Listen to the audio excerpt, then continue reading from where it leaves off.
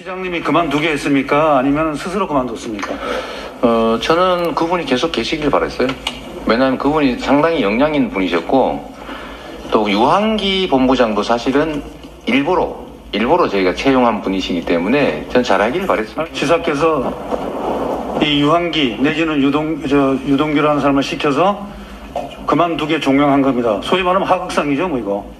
위로 총질한 거 아닙니까 이게? 말 안 듣는 사람 시장님이 저 저 지사님이 잘라버린 거 아닙니까 이거? 아, 전혀 사실이 아니고요. 였습니다. 경찰은 일단 유전 본부장 신원을 가족 등을 통해 확인했습니다. 이후 정확한 사망 경위 등을 확인하기 위해 현장 감식을 진행했고 시신은 병원으로 이동, 이송됐습니다. 앞서 오늘 새벽 4시 20분쯤 유전 본부장의 가족이 경찰에 실종 신고를 했는데요. 유전 본부장이 극단적 선택을 암시하는 글을 남기고 사라졌다는 거였습니다. 다만 유 전 본부장이 남긴 글의 구체적인 내용은 확인되지 않았습니다. 경찰은 유 전 본부장이 새벽 2시쯤 자택을 나서는 CCTV 화면을 확인하고 동선을 추적하다 시신을 확인했습니다. 유 전 본부장은 그동안 대장동 개발 특혜에 관여하고 뒷돈을 받은 혐의로 검찰 수사를 받아왔는데요.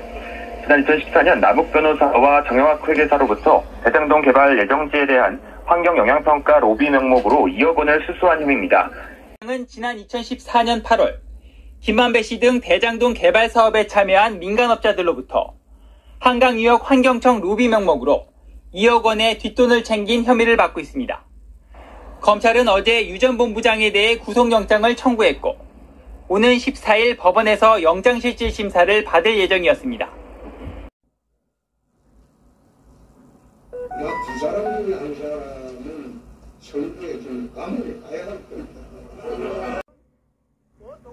어쩌다고요? BBK가 어떡하요? 새빨간 거짓말입니다, 여러분. 저는 그러한 삶을 살아오지 않았습니다, 여러분. 누가 나에게 돌을 던질 수 있습니까, 여러분? 윤석열 총장은 네가 양심적으로 한 그대로 가면 돼요. 사과는 무슨 사과야? 어, 양심적으로 그대로 가면 돼. 어, 가면 되고 그게 내가 잘못한 게 있다면 지금 이 나라 뒤집어야 돼.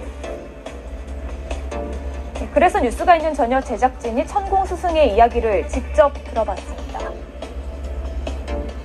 그 사람의 의견을 바꿔줄 확률이 얼마나 될까? 바뀐 의견을 실제로 실현해줄 능력은 있을까?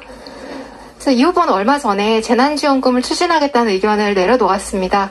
알다시피 이 후보님이 굉장히 오랫동안 애착을 가지고 추진해오신 일이라고 알고 있는데요. 그러니까 그럼에도 불구하고 국민의 반대가 크고 지속적이자 내려놓았고 선거운동에 대해서도 뭐 이런저런 비판들이 일자 과감하게 선대위를 지금 다시 꾸리고 있으십니다. 그래서 아, 지금 후보로 나온 사람들 중에서 내가 이 사람한테라면 그래도 아니 아닐 때는 아니라고 말할 수 있겠다는 생각이 들었습니다.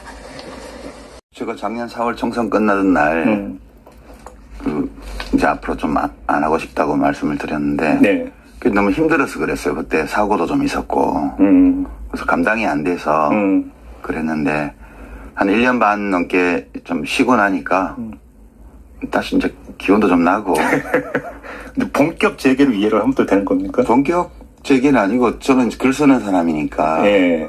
그일 하면서 네. 이렇게 뭐, 자연스러운 기회가 있을 때는 음. 또좀 하고, 음, 그럴 생각입니다. 그래서